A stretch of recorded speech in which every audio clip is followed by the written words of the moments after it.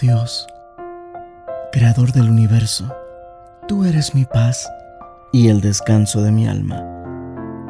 Esperaré en ti, en tus promesas y en la palabra que sale de tu boca.